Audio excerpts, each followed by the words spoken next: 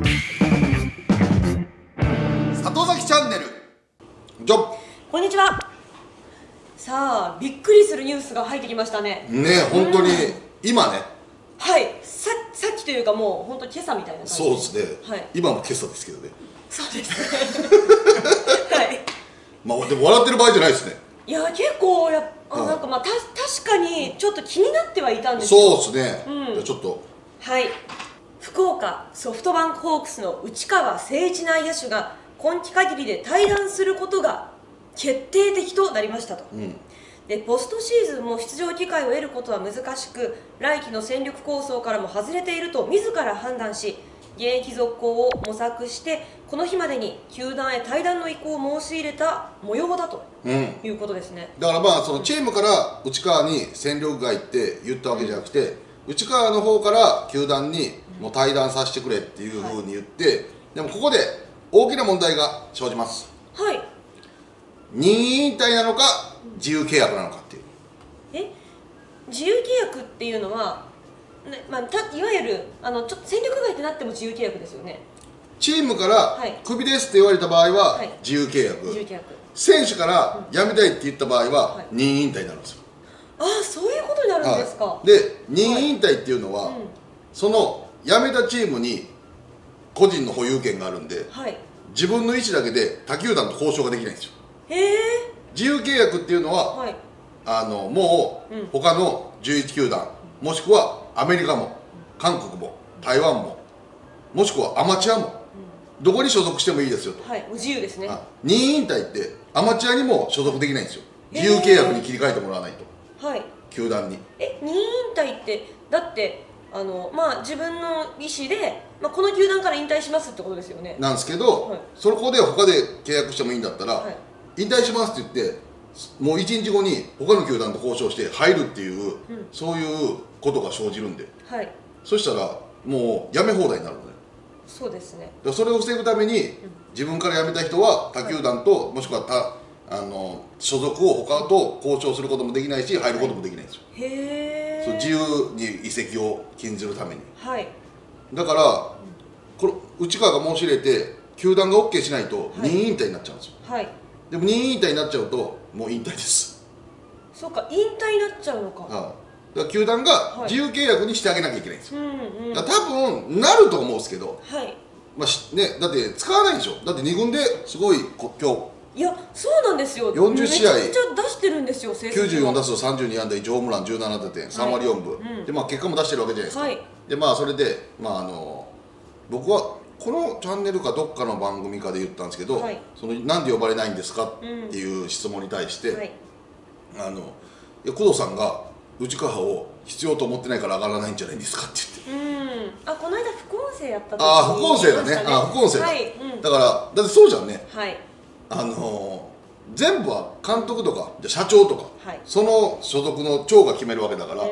その人がどんなに結果残そうが結果残さないが、もうその人の好みじゃんね。はい。だから必要だったら成績残しなくても上げるし、うん。必要じゃなかったら成績残してても、まあ、上げないわけじゃんね、はい。だからもうだから工藤さんが内側のことを今現勢力では必要ないと思ってるから上げないんじゃないんですか、はい。で結果的に優勝しました、うん。じゃあまあそれでいいじゃんになるけども、うん個人としてはまだ俺もできるのにと、うん。で38歳なんでしょ。はい。でこのままいてももう一軍で出る幕は自分の居場所はないと、うでも他球団行きたいと。んはい。だからあのクビにしてくださいっていう。だからクビにしてくださいってことなんですよ。ってことですね。はうん。だからソフトバンクがそこをクビどうするまあたここは自由契約でしょ。まあしてあげるでしょうあげるべきですよね、はい。ここでしないのははい。鬼ですよ、いや意地悪と思っちゃいますよね、うん。だってもう使わないし、はい。で内川本人ももうあと1年あるかないかつか勝負ずっと38歳だから、いつまでできるか分かんない。もう、うん。来年もしくは怪我して終わるかもしれない、はい。能力落ちるかもしれない。もう一日一日がもうラストチャンスのうん。ところ来てるわけじゃないですか、そうですねってなって使わないんだったら、やっぱり自由契約にしてあげるべきですね。そうですね。しかも、まあ、こう2軍でこんだけ残してる成績を3割4分打ってるので、できるって自分でも思うじゃないですか、うん。そうしたらやっぱり出たいですよね試合に。そうですね、うん。でもなんか最近の流れだと、はい。なんかあの稀な流れですね。うん。なんでですか？こういう情報あんま聞かなくないですか？自分から対談も仕入れてみたいな。で最近だとねじゃああの阪神の福留、はい事実上の戦力外ですって情報出ても本人までやりたいと。か、はい。あと能見うん。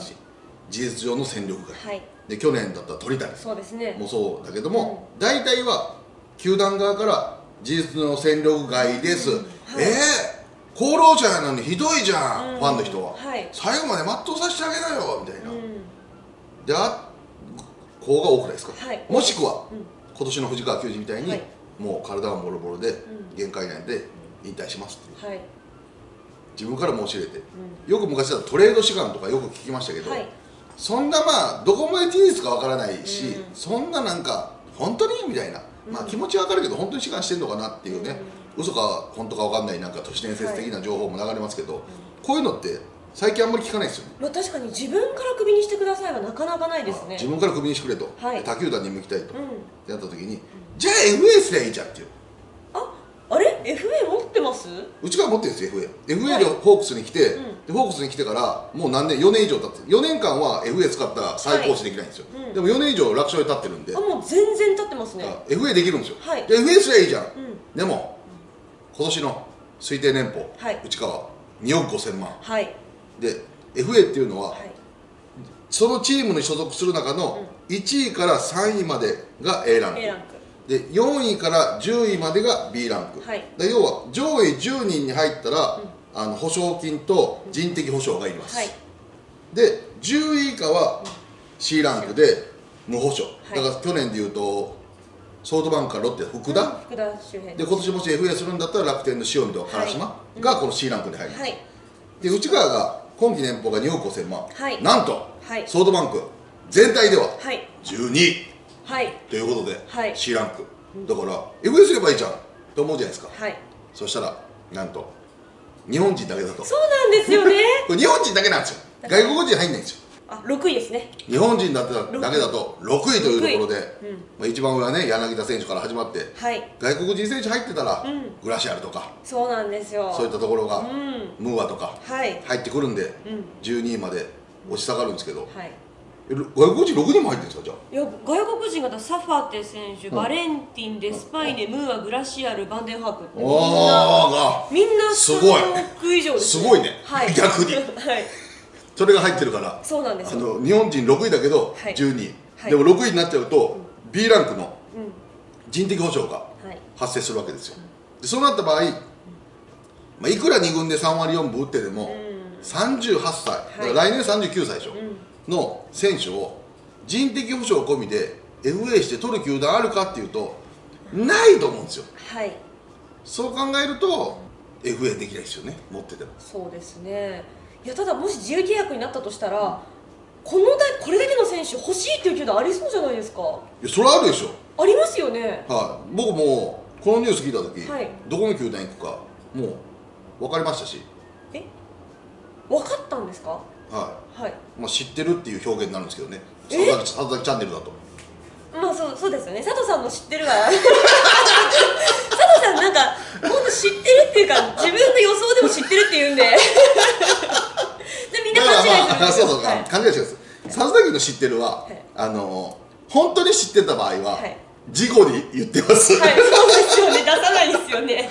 本当に知ってる場合は、は事故にうん。起きた時にメディアで新聞テレビラジオとか、はい。メディアに報道した後にちゃんと言います。はい。だから涌井のうやつとかもそうでしたけど、そうですね。本当に知ってる場合は、はい。後です。はい。ドラフトのあったでしょ、うん。知ってますって、はい。事前に言うやつは予想です。そうです。そこはちょっとねオーバーに言い過ぎてるんで、はい。あの勘違いされてるうん。方、勘違いじゃねえよ。てめえのせいだよって言われたかもしれないですけど。言い方だからそういう意味。はい。そんな言い方したら知ってると思うだろうってね、はい。ご批判求めでございます、はい、だから知ってるじゃないはい。危ない。ここあの変に言ってると、はい。またなんか情報漏洩あるとかってなんか言われるから、はい。予想です、はい。今回予想です。ちゃんと言いましょうはい。どこに行きそうか、はいうん。第1回選択希望選手。ドラフト風？内川誠一。取る球団は。千葉ロッテマリーンズ。おおあ行きそうですか？うん欲しい。欲しいですね、うん。やっぱりこのまあ、DH もはい。そんないるわけじゃないし、うん。でしかも右バッターのはい。いいのも少ないし、うん。でしかも内川。はい。やっぱりそのコーチング的にもいいし、うん。はい。技術もまだ3割4分打ってるし、うん。でもやっぱパ・リーグの方が DH あるんで、っはい。ていうところもあるし、ファーストもここに来てはいブーちゃん井上が全く打たへんと、あの泣いてから全然打たへんと。あの一打すごかったですけどね。だからもうプレッシャーに負けてるんですよ、うん。あんなところで泣くのは、はい。だって打てなくて苦しくて涙が出るんでしょ、まあそうですね。もうその時点でプレッシャーに負けてる、それだからダメなんですよ、はい。そんなところで、だからそういったところでは強靭な勝者のメンタリティーがあるはい。内川がうん。ファーストの守備にもついたりとか、はい。DH できたりとか、うん。まあ、代打もいけると、はい。でしかもまあ長打も出ると、っていうところではロッテが。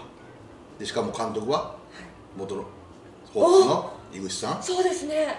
で内川と一緒にやってたはい。鳥越さんもいて、はい。鳥谷とかうん。うん福田とか、まあはい。い感じのいいい感じですね。雰囲気もはい。いいしはい。うん。しかもはい。足りないピースだし。うん。いいんじゃないのか？いいですね。ロッテ。はい、なんかある気がしてきましたね。ね。うんロッテはヒットすると思うんですよ。はい。もしくははい。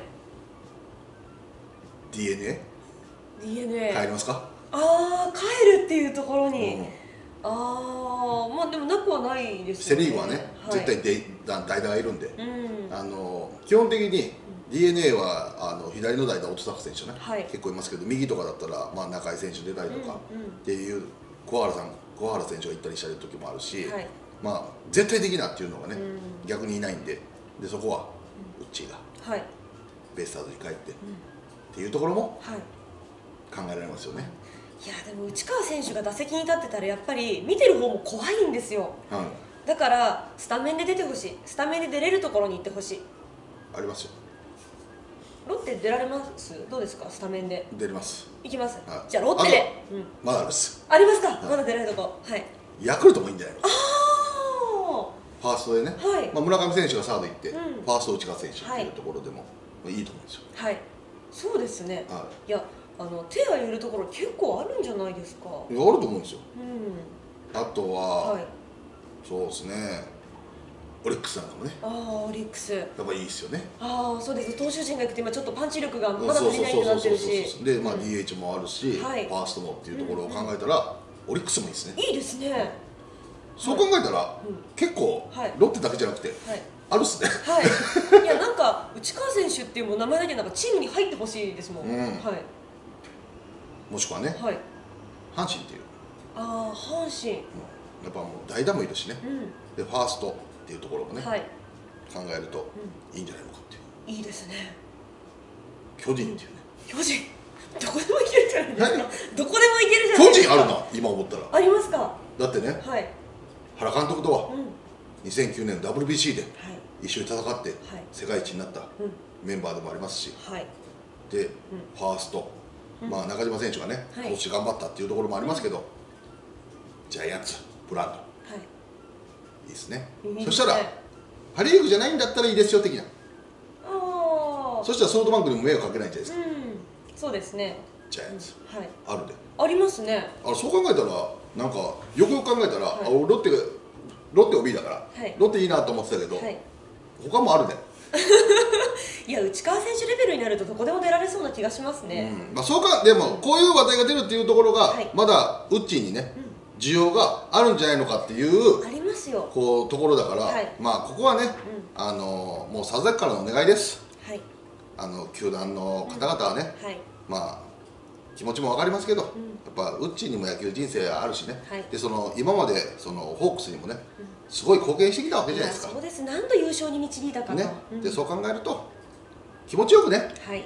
まあもう決まってるかもわかんないですよ。僕が言うこと僕が言うことじゃないかもわかんないですよ、はい。張り切って佐々木言うなと、はい。もう決まってんねやと、うん。僕はあのそんな張り切ってね、言うことじゃないんですけどもあの一解説者として、はい。まあ、ここは気分よくね、う送り出してあげて、うっちーにはね最後のプロ野球選手としてね、そのなんか満足いくまでね納得するまで頑張ってもらいたいなっていうところもありますし、もしね違う球団行ったとしてもね、ホークスファンの人とか内川ファンの人はねまた応援してあげてほしいですね、はい。ということで今ね情報上がってきたばっかりなんで、詳しいことが全部わかんないんでね、はい。あのこんな風になってしまいましたけども、まあ、今後の動向もね探りたいなと思いますけども、えー続いてはですねあのこんなニュースの後ですけどもあのなぜ優勝したソフトバンクホークスっていうのをあのこれから撮りますんで、はいそちらの方もぜひご覧ください。はい